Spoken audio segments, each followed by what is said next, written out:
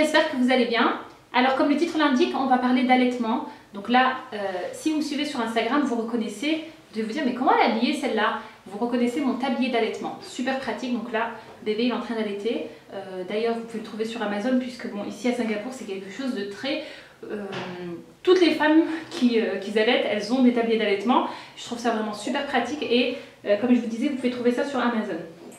Donc c'est super pratique pour euh, allaiter bébé un peu partout. C'est vraiment un indispensable pour moi. Donc vous voyez, vous pouvez regarder bébé.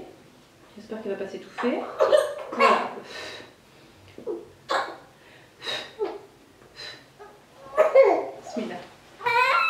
Voilà, Donc les filles, je vous disais, on va parler d'allaitement, je vais vous parler de mon expérience. Euh, je vous avais parlé un peu, je ne sais plus si j'avais fait une vidéo par rapport à l'allaitement de, jumeaux, je ne pense pas que j'avais fait une, vidéo spécifiquement par rapport à ça, mais je vous en avais parlé dans ma vidéo euh, récit accouchement de, de, mes jumelles. Donc je vous avais parlé de l'allaitement euh, pour mes filles et euh, donc là je vais, vous parler des expériences tout simplement, que ce soit pour mes filles, ça va être un mix des deux ou pour euh, ce bébé qui est solo. Donc du coup je pense que ça sera bénéfique pour les mamans qui sont enceintes de jumeaux et, qui souhaitent les allaiter. Ça sera aussi bénéfique pour les mamans qui sont enceintes de, grossesse unique, quoi, qui, sont, qui ont une grossesse unique. Et ça sera aussi profitable. Et ça sera aussi profitable pour les mamans qui attendent un seul bébé. Alors, donc, pour l'allaitement, euh, ce que j'ai envie de dire en, premier lieu, c'est que c'est pas quelque chose de naturel. Euh, oui, c'est un phénomène naturel, oui, bien sûr, euh, voilà, on sait très bien, hein, mais je veux dire, c'est pas quelque chose. Ah mince, j'arrive pas. Donc les filles, on va commencer. on va commencer sans plus tarder. La première chose que je vais vous dire, c'est que autant pour certaines femmes, l'allaitement c'est quelque chose de naturel elle se pose pas de questions, voilà, euh, euh, ça se fait très naturellement, on va dire. Autant pour d'autres femmes, euh, c'est pas si naturel et elles auront besoin d'être accompagnées, elles auront besoin, elles auront plus de difficultés, elles auront besoin d'être accompagnées durant cette, cette, phase, surtout la phase du début quand même, qui, mine de rien, n'est pas facile. Alors, si vous avez vu ma vidéo par rapport au baby blues, dépression, n'hésitez pas à aller la voir, je vous mettrai le lien quelque part en dessous en barre d'informations, sinon vous allez directement sur ma chaîne, vous la trouverez. Euh, je, terminais la vidéo en disant qu'il ne faut pas, euh, il, faut, il, faut, se dire qu'il y a un décalage entre l'idéal, ce que la société montre, euh, attend de nous, etc., et la réalité. Et c'est la même chose pour l'allaitement. Euh, quand on tape allaitement sur Google, vous faites le test, tapez allaitement Google, vous allez voir que vous allez trouver des femmes en train de sourire avec un beau petit bébé. Euh, vous voyez, ça fait très oh, mais vous voyez ça, vous êtes là en train de oh, vous dire mais vivement que j'ai euh, que je que je que j'allaite mon petit. Mais c'est vrai que c'est des images qui respirent le bonheur, vous voyez, etc. Mais sincèrement, dans la réalité, c'est pas pas si facile que ça. C'est pas c'est pas c'est pas pas c'est pas si simple. Mais une chose qui est sûre, c'est que euh, si vous voulez allaiter, alors mon conseil vraiment les filles, c'est que si vous voulez allaiter, vous devez vous renseigner, vous devez vous informer sur l'allaitement, comment ça se passe, sur les éventuelles difficultés. Ça va mon cœur? C'est tout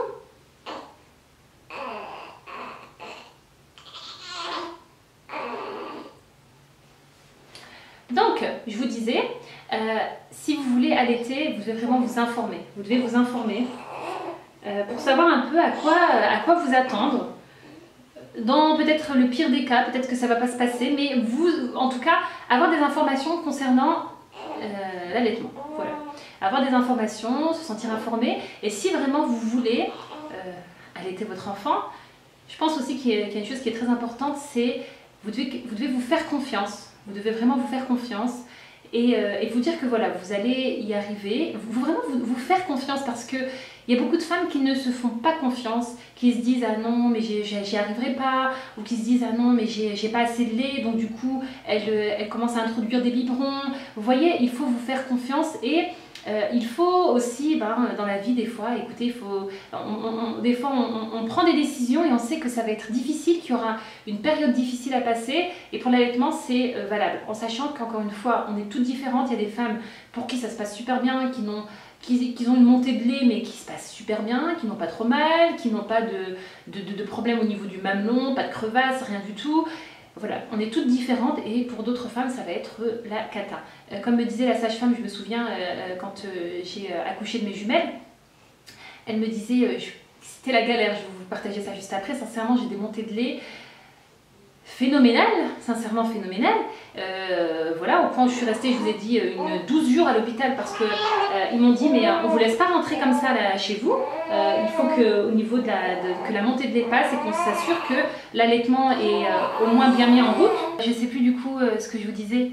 Euh, je ne sais plus du coup ce que je vous disais. Je crois que je vous parlais de la maternité. Je vous disais, euh, je me souviens qu'à la maternité, il y a une sage-femme qui me disait, euh, parce que j'avais donc une montée de lait spectaculaire, et j'étais, plus. Et elle me disait, franchement, madame, il faut tenir le coup. Vous voyez, dans la chambre à côté, on a des, dans les chambres à côté, on a des mamans qui pleurent parce que justement, elles n'ont pas assez de lait. Donc voilà.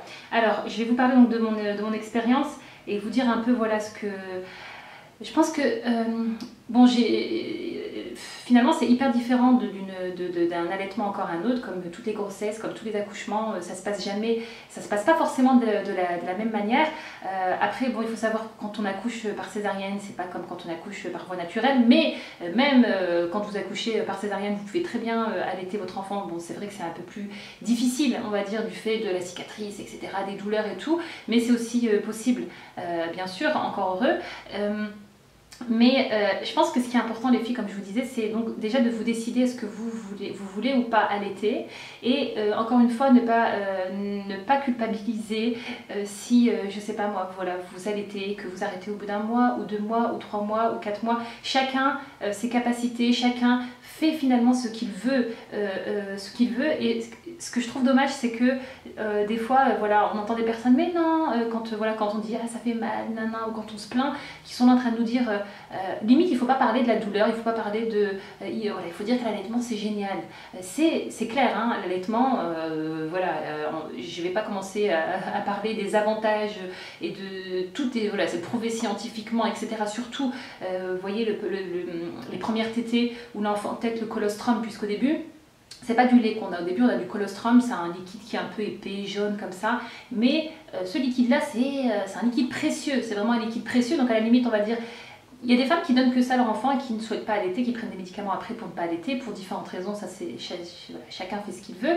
Mais le colostrum, ce qu'il faut savoir, c'est que encore au jour d'aujourd'hui, on n'a jamais pu faire euh, du, euh, du, lait du colostrum artificiel parce que dans le colostrum, il y a des anticorps, les anticorps de la maman. Donc du coup, vous allez protéger votre enfant durant ses premiers instants. Donc vous allez offrir à votre enfant cette protection immunitaire, vos anticorps. Je trouve ça vraiment euh, formidable. Hein et donc pour les filles, euh, je, vais vous raconter, et en même temps que je vous raconte, je vous tire les enseignements que j'ai tirés de, différentes choses.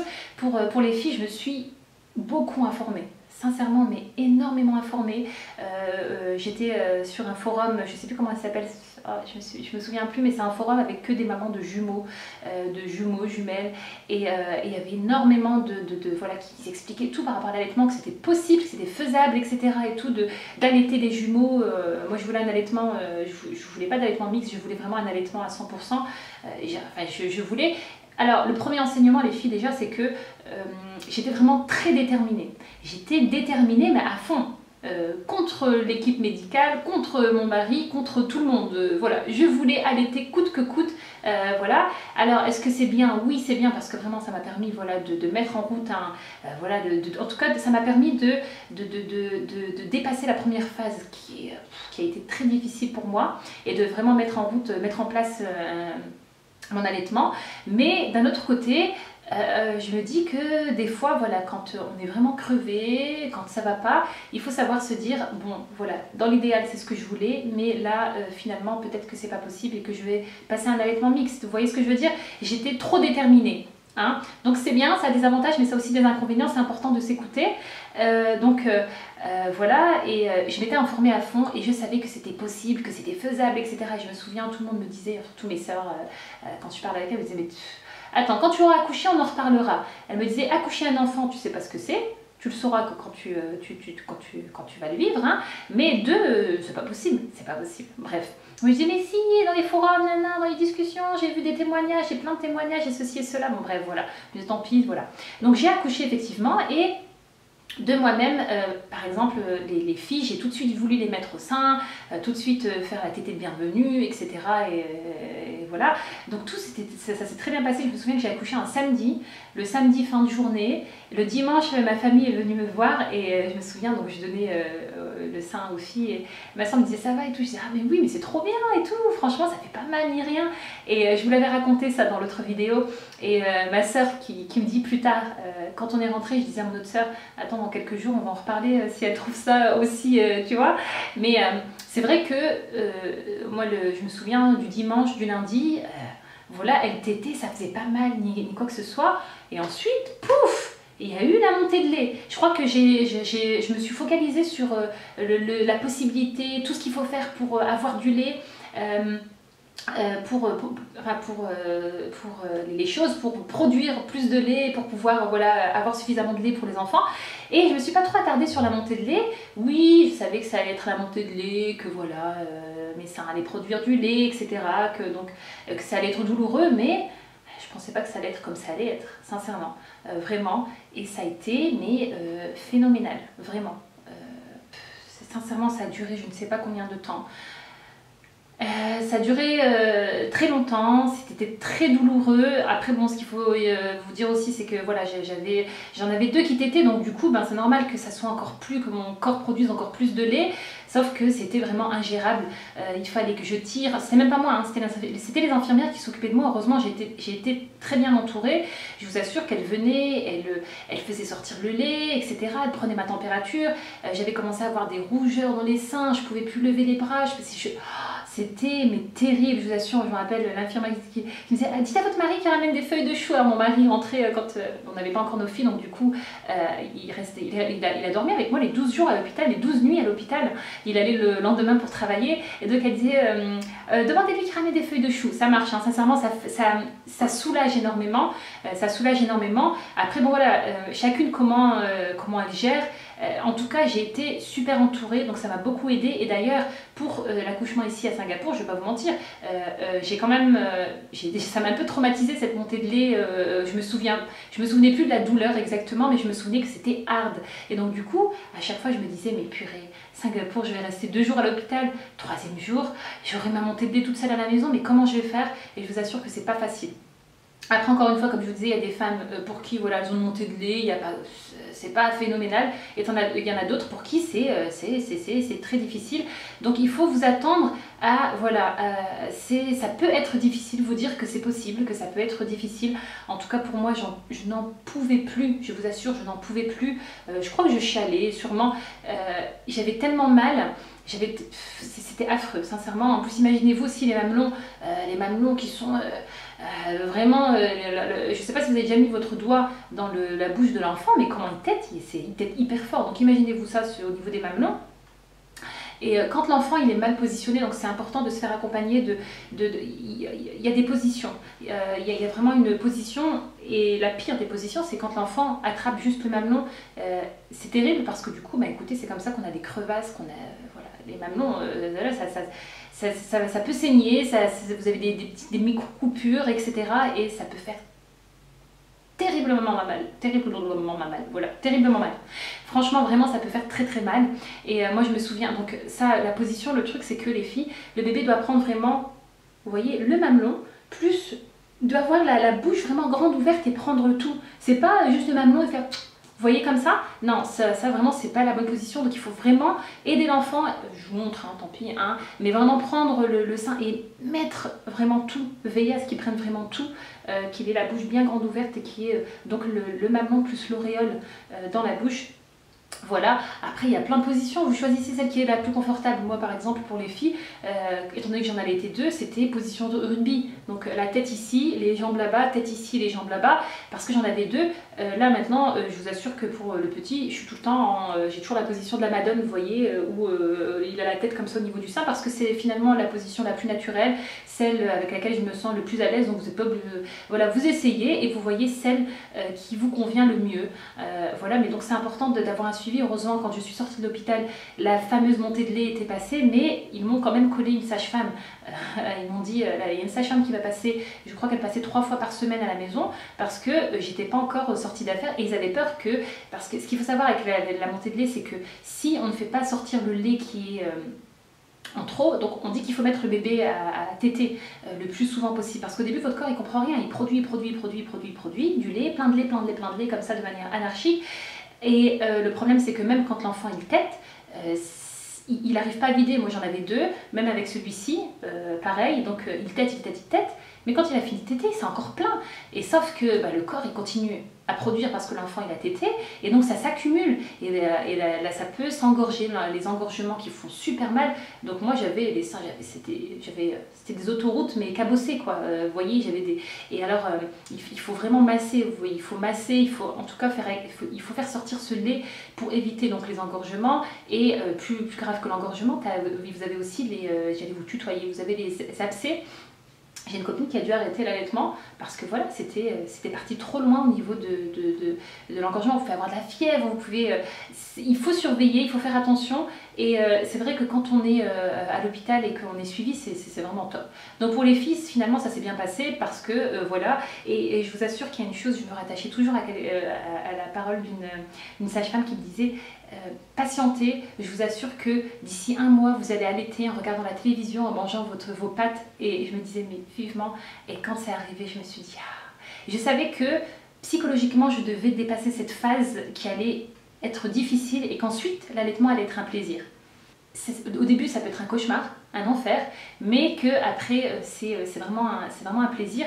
Mais il faut vous préparer et vous dire que c'est pas quelque chose de, de, si naturel, quelque chose de si simple, que ça va vous demander des efforts, ça va vous demander des efforts, ça va vous demander de la patience, que des fois on en a marre, on en a marre parce qu'on a du lait partout, que ça fuit euh, de partout et que ça fait mal et ceci et ceci et cela. Donc voilà. Alors les filles, pour le deuxième accouchement, enfin pour mon, petit ici, comme je vous ai dit, j'ai dû gérer ça toute seule. Alors, j'ai pas eu une bonne expérience au niveau du tire-lait. Maintenant, c'est mon expérience parce qu'il y a des femmes euh, pour qui ça se passe très bien avec le tire-lait, qu'ils arrivent à retirer juste ce qu'il faut pour se soulager et qui utilisent aussi le tire-lait pour tirer leur lait pour la suite quand elles reprennent le travail ou quand elles doivent s'absenter. Moi, avec les filles, j'avais déjà énormément de lait, énormément, énormément de lait. Et donc, quand je retirais l'excès, j'avais encore plus de lait et c'était un cercle vicieux. Donc, du coup, j'ai arrêté et c'est vrai que c'est rentré dans l'ordre quand j'ai arrêté. Donc là, pour celui-ci, je me suis dit pas de tire-lait. Après tout, nos mères, nos grand-mères faisaient comment avant? Ça n'existait pas le tire-lait. Donc je me suis dit, je ferai la bonne vieille technique euh, manuelle, au moins avec les mains. Je peux pas en retirer plus qu'avec un tire-lait. Donc euh, voilà. Euh, donc j'ai eu la, montée de lait, je crois, vers le troisième jour. J'étais toute seule à la maison. J'avais des copines qui sont, j'ai des copines qui sont passées qui m'ont dit bon, il faut que tu commences à masser quand même, hein, parce que franchement non. Et mais moi je suis une chuchote. Euh, franchement j'ai trop mal. Donc du coup oui, moi je mets un peu d'huile et je masse comme ça. Mais non, c'est pas comme ça qu'il faut masser. Il faut vraiment masser pour faire sortir et extraire. Et ça fait mal, ça fait un mal de chat parce que euh, j'avais mal au mamelon, j'avais mal... Euh, donc je m'étais dit, je m'étais dit, bon, moi je, sincèrement j'ai pensé 10 jours, parce que si vous regardez mon historique, il y avait que des trucs comment soulager, monter de lait, monter de lait, que des recherches comme ça, bon voilà. Et moi, les serviettes chaudes, ça marche pas. Je mets des serviettes chaudes, sincèrement, et rien les douches chaudes, ça marche pas. Ce qui a bien marché avec moi, c'est de masser et de faire sortir. Euh, ben, à, la fin, à la fin, c'est mon mari qui s'y mettait. Euh, parce que moi, je n'arrivais pas. Il fallait faire sortir et j'arrivais pas. J'avais trop mal. Euh, donc, ici à Singapour, je vous ferai une autre vidéo un peu par rapport à ce les choses que j'ai bien aimées ici à Singapour. Vous avez des masseuses qui viennent. heureusement, elle est venue une fois, j'étais engorgée comme ça. Elle m'a fait sortir, mais. Par contre, je criais, hein. ah, ah, ah, je, je, criais. Je me suis retenue de ne pas pleurer, mais sincèrement, ça faisait un mal de chien. Oh my god. Et je m'étais fixé 10 jours. Je me suis dit, bon, au bout de 10 jours, en général, cette montée de lait, ça y est, quoi. Après, le, le corps sait ce qu'il doit produire pour votre bébé. Vous voyez? L'offre, la demande. Euh, c'est comme la, loi du marché. Voilà. Et c'est vraiment important, les filles, de comprendre ça de comprendre que votre corps, au bout d'un moment, il va produire ce qu'il ce qu'il faut pour votre enfant. Donc si vous introduisez des biberons. Après, si c'est votre choix, tant mieux. Mais si vous voulez vraiment un allaitement à 100% avec votre lait, si vous introduisez un biberon, votre corps va comprendre que oh, il y a une tétée qui a été sautée, donc je ne vais pas produire le lait nécessaire pour cette tétée. Donc il y a des mamans qui se disent au bout d'un moment, oh mais j'avais pas assez de lait parce qu'elles donnent des biberons, ou, elles pensent qu'elles n'ont pas assez de lait. Alors je vous assure que donc vous passez de sein, ça dépend, hein, en tout cas pour moi, une poitrine comme ça, et quand tout s'est mis en route, au bout du 11e jour, euh, tout est, c'est devenu tout mou. Et je me disais, mais mince, est-ce que j'ai encore du lait ou j'ai plus de lait? Et j'appuyais comme ça pour faire sortir, mais oui, il y a encore euh, du lait, sauf que maintenant notre corps ne produit plus euh, vous voyez, il produit ce qu'il faut. Euh, après, chaque femme, c'est différent. Il y a des, je parlais avec une copine, elle me disait euh, Ah non, moi, quand j'allaite d'un sein, moi, ça me fait bizarre, hein, les filles, hein, de passer de l'allaitement de jumelles parce que je me prenais pas la tête, est-ce que je, dois donner le sein droit ou le sein gauche? Je les mettais toutes les deux, elles allaitaient tout le temps ensemble. Donc voilà, alors que là, il fallait que je, sache lequel j'avais donné. Donc une bonne technique, moi, je mettais un élastique là et hop, j'ai donné ce sein, hop, je changeais euh, pour la tête d'après, je savais que ça allait être ce sein-là. Et une autre chose qui est tout à fait normale, il y a beaucoup de femmes qui ont un sein qui est plus petit que l'autre. Ça aussi, ne vous inquiétez pas, c'est tout à fait normal. Donc je vous disais, et euh, voilà, quand euh, pour un, euh, c'était casse-tête, et il y a une copine qui me disait, donc moi quand je donne le sein à mon petit, l'autre sein, bah, ça fuit, hein, voilà, si j'ai pas de coussinet, c'est pas possible. Et elle me disait, ah moi j'ai jamais eu ça. Encore maintenant, ça va faire un mois, quand il tête un sein, l'autre sein, euh, je sens que la pression, pression, pression, il y a du lait qui sort. Donc voilà, c'est vraiment différent. On est toutes différentes, mais euh, je sais plus, j'ai perdu le fil de ce que j'allais dire. Euh, il n'y a pas vraiment de généralité. Par exemple, quand on dit qu'il faut mettre l'enfant tout de suite, tout de suite, lui faire la tétée de la bienvenue, le pot à pot, etc. J'ai pas eu de pot à pot, je vous ai raconté dans mon accouchement que j'ai pas eu de pot à pot avec mon enfant.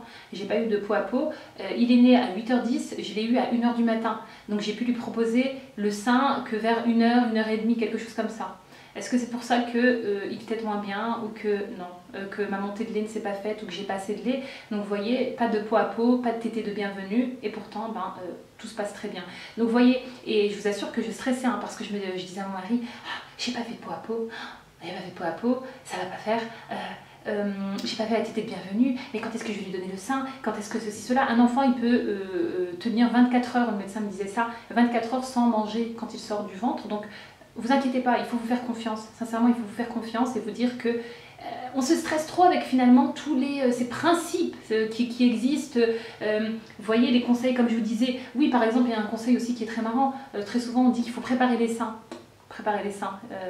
masser vos seins, je sais pas, préparer les seins. Regardez, hop, je tape dans Google un des premiers trucs que je trouve. Préparez vos seins pour l'allaitement.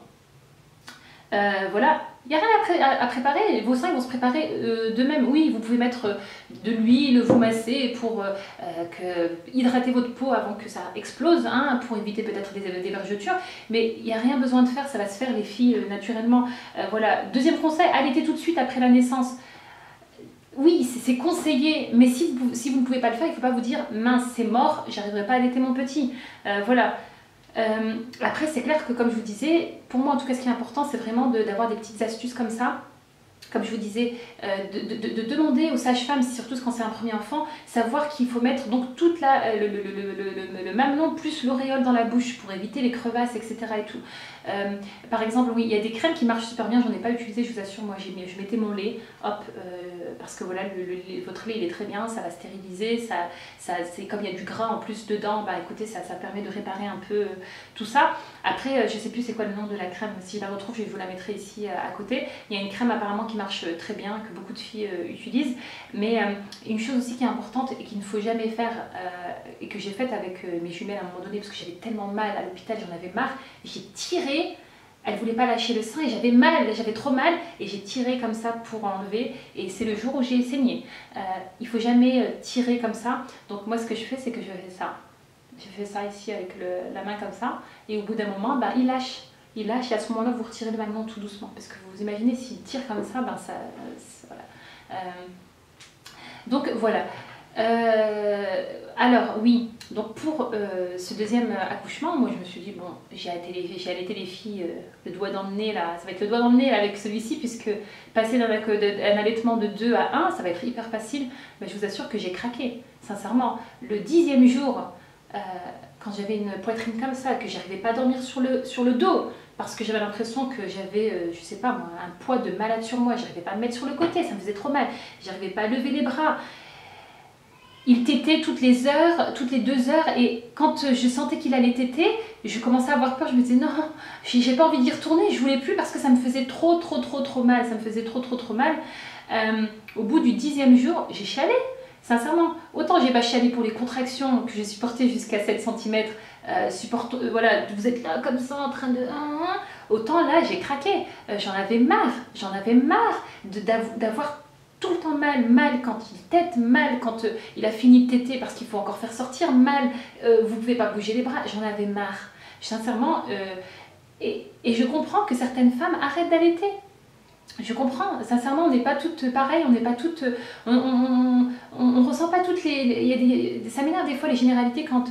J'en suis sûre qu'il y en a une sûrement qui va le dire, qui va dire Ah non, mais l'allaitement ça se passe super bien, mais c'est. en général ça va pas, c'est parce que vous positionnez mal le bébé. Non, c'est pas vrai. C'est pas vrai, sincèrement, c'est pas vrai. On n'a pas toute la même montée de lait et quand vous passez d'un bonnet, euh, je sais pas, euh, A ou B à un bonnet, euh, vous, vous gagnez 4 tailles et que ça fait super mal et que c'est engorgé et que c'est un truc de dingue, que vous avez de la fièvre, que vous avez de la fièvre, que vous avez des, des plaques rouges tellement. c'est quoi? C'est pas la position d'enfant, c'est mon corps qui est en train de. de, de, Donc, non voilà quoi, c'est, vous voyez, c'est, on, réagit toutes différemment, on est toutes différentes, mais vous devez vous attendre à ça. Donc moi, je, savais, je savais que ça allait être galère, machin et tout, mais je vous ai dit, le dixième jour, je me suis dit, mince, ça fait dix jours, c'est bon là, c'est bon là, cette montée de lait là, quand est-ce que ça va passer? Je, J'en pouvais plus, et le lendemain, je vous assure que c'est passé. Le lendemain, je me disais, mais punaise, hier j'étais encore engorgée comme ça, et aujourd'hui, ben voilà, ça y est. Euh, après... Euh, voilà, l'allaitement, ça demande énormément de disponibilité. Dites-vous que vous allez devoir être disponible et des fois vous avez l'impression d'être une sincèrement des fois vous avez l'impression d'être une vache à lait oui, quand on dit la vache à lait, mais c'est la réalité. Euh, à peine vous êtes là tout le temps à remettre, enlever, agrafer, remettre, remettre votre, soutien-gorge, lui donner, lui reproposer, enlever. Euh, c'est juste dingue. Moi, franchement, ça demande énormément de disponibilité. Et tout ça, il faut vous dire, il faut, euh, voilà, si vous prenez cette décision, il faut, il faut que vous acceptiez que, bah, écoutez, vous allez pas vous pouvoir, par exemple, là, je suis habillée comme ça, mais non, en réalité, c'est pas pratique du tout. Il me faut des choses avec des boutons. je suis pas à l'aise du tout comme ça. quand vous sortez, bah, écoutez, vos habits, il faut toujours qu'il y ait des boutons euh, devant. Euh, vous sortez, l'enfant il veut téter, ben, il faut trouver un endroit où lui donner le sein. D'ailleurs, c'est pour ça que le tablier d'allaitement il est génial.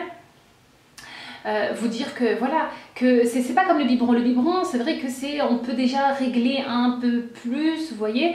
on sait exactement combien euh, il a bu. Si vous faites un biberon de je sais pas combien de millilitres et qu'il en a bu autant, vous savez combien il en a bu. Alors que pour le sein, c'est, euh, vous faites confiance à votre enfant. Vous savez pas, des fois la tétée elle dure 2 minutes, des fois la tétée elle dure pendant 30 minutes, tête, il redemande juste après. Vous voyez, c'est, en général on demande, on dit que le mieux c'est de faire un allaitement à la demande au tout début, c'est-à-dire quand il a envie, ben, vous donnez tout simplement. Donc voilà, finalement vous êtes, vous, vous êtes esclave de votre enfant et il faut accepter d'être cette, cette, disponibilité surtout la nuit. Vous dire que la nuit, les filles, euh, bon après il y a des exceptions, hein. il y a des personnes qui ont un enfant qui fait ses nuits euh, même au sein dès le début. Euh, moi c'est pas mon cas, ni pour les filles ni pour celui-ci, mais vous dire que voilà, vous allez devoir vous réveiller toutes les deux heures, des fois toutes les heures, parce que des fois il y a des moments, ils ont des pics de croissance aussi à certains moments où ils têtent, ils têtent, ils têtent, ils têtent, vous avez l'impression, mon Dieu, que, que, que vous vous faites que ça, que ça, que ça, que ça. Donc il faut vraiment les filles que vous vous préparez à ça. Et encore une fois, je repense à une de mes abonnées qui me disait, euh, donc elle avait marre, marre, marre, donc et à la fin de la grossesse, et je lui disais, mais il faut aussi que tu te dises que l'accouchement, la, c'est pas une fin en soi. L'accouchement, ok, voilà, émotionnellement, etc., hop, voilà, tu vas vivre ça, et ensuite, c'est l'allaitement. Et l'allaitement, tu as besoin d'énergie, tu as besoin de, voilà, de, euh, as, besoin de, ça va encore faire mal, ça peut faire mal. Euh, c'est pas, euh, voilà, c'est pas hop le bébé il est là, ça y est, c'est terminé, tous les efforts sont terminés. Non, franchement, euh, non. Le crâne m'a lâché, c'est pas grave. Donc je, vais terminer en disant, je sais plus ce que j'étais en train de vous dire juste avant, mais oui, voilà. Donc cette vidéo, c'était vraiment pour les nouvelles mamans. Voilà, pour vous dire qu'il faut vous préparer, vous informer, vous dire que voilà, ça peut être difficile dans un premier temps, mais qu'après, voilà, ça, ça, ça, après, franchement, c'est, c'est clair que c'est moi je trouve en tout cas que c'est quelque chose d'incroyable le fait d'allaiter son enfant. Je, je, prends beaucoup de plaisir à faire ça et euh, je trouve que c'est vraiment des moments privilégiés avec son enfant.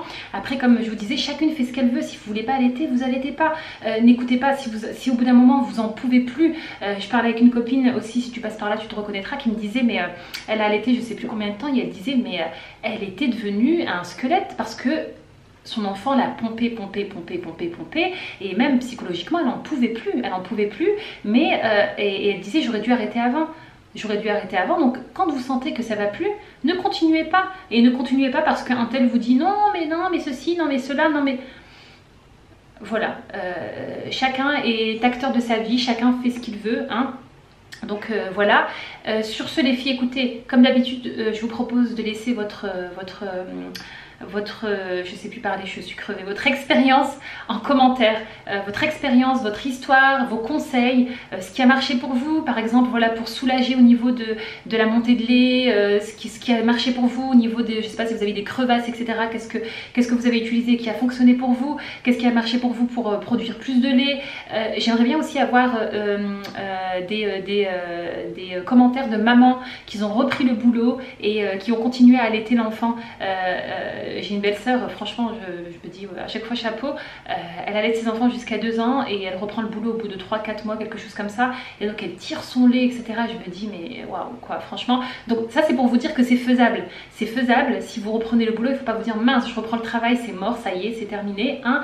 Euh, donc j'aimerais bien avoir des retours de, femmes qui ont repris le, boulot et, qui, voilà, qui ont réussi à continuer d'allaiter l'enfant. Donc si vous pouvez laisser ça, ce serait vraiment sympa déjà pour moi parce que j'aimerais, voilà, comme je vous disais, j'aime je lis tous les commentaires et euh, je trouve ça intéressant, super intéressant de voir finalement euh, voilà, qu'on a toutes des histoires différentes, qu'on a toutes des manières de faire différentes, qu'on ne ressent pas les choses de, la même manière. Et surtout, ça peut aider des futures mamans euh, qui, qui, doivent reprendre le boulot et qui veulent absolument continuer à allaiter l'enfant. Ça, va ça peut leur donner des, idées, ça peut surtout les réconforter, les conforter dans, dans leur choix et se dire finalement que oui, c'est possible, c'est faisable. Donc voilà les filles, j'espère que la vidéo n'a pas été trop brouillon. Euh, au début j'avais préparé, je voulais prendre des notes etc. Mais je me suis dit non franchement écoutez, euh, je parle comme ça avec ce qui me vient. Encore une fois j'en suis sûre que j'ai oublié de vous dire des choses que j'avais envie de vous dire. Mais en tout cas ce que je voulais vous dire c'est que finalement, euh, franchement je me disais là, euh, avec le, troisième, bon, je suis passée par euh, des jumelles, je les ai allaitées toutes les deux, ça va être simple, mais j'avais oublié, sincèrement, j'ai oublié, et là, là maintenant encore, j'ai oublié, hein. j'ai déjà oublié les 10 jours de galère, mais euh, on, on oublie pas tout, euh, je peux vous dire que oui, ça a été très difficile, mais par exemple, je pourrais plus vous dire les, douleurs ou ceci ou cela. Heureusement d'ailleurs qu'on oublie, mais je euh, je pensais pas que ça allait être aussi douloureux. Euh, je n'avais pas souvenir que c'était aussi douloureux. J'avais pas souvenir que c'était aussi douloureux et que c'était, c'est vraiment une période. Encore une fois, je le répète, j'en suis, suis, sûre qu'il y a des nanas pour qui ça se passe très bien, qui ont une petite montée de lait et voilà et tout.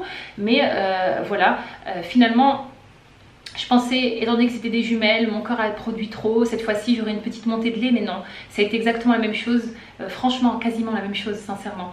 Euh, sauf que là j'avais un seul enfant, euh, pas deux, et donc il fallait que je fasse sortir tout ce lait en trop qu'il y avait. Donc on va pas se plaindre, il faut pas se plaindre aussi et se dire que voilà, c'est vrai qu'il y a des femmes qui ont, moins de lait, donc ça c'est par rapport au nombre, des, canaux, on n'a pas toutes les mêmes, le même nombre de canaux. Il y a aussi, ah oui, il y a aussi une chose très intéressante, j'avais lu aussi euh, qu'il y a des mamans qui ont subi des chirurgies, euh, voyez, euh, plastiques, exemple augmentation mammaire, qui peuvent allaiter. Donc ça dépend, ça dépend du type d'opération, de, mais en tout cas, si jamais, je sais pas moi, si jamais, hein, si vous faites une reconstruction mammaire, ce genre de choses, il faut parler de ça, de l'éventualité, si vous, je sais pas, vous n'avez pas encore d'enfants et que vous voulez des enfants et que vous voulez allaiter, il faut parler de ça. c'est surtout dans le cas de réduction mammaire, donc ils expliquaient que des fois, il y a des canaux qui sont, bah, qui sont coupés, et donc du coup, ben voilà, c'est vrai que ça a des répercussions sur... Euh, euh, euh, si la maman veut allaiter plus tard. Donc voilà les filles, sur ce je vous fais de gros gros gros bisous, prenez bien soin de vous et j'attends de lire tous vos commentaires, vos petites histoires, voilà, de votre expérience etc. Prenez bien soin de vous et à bientôt pour une nouvelle vidéo. Bye bye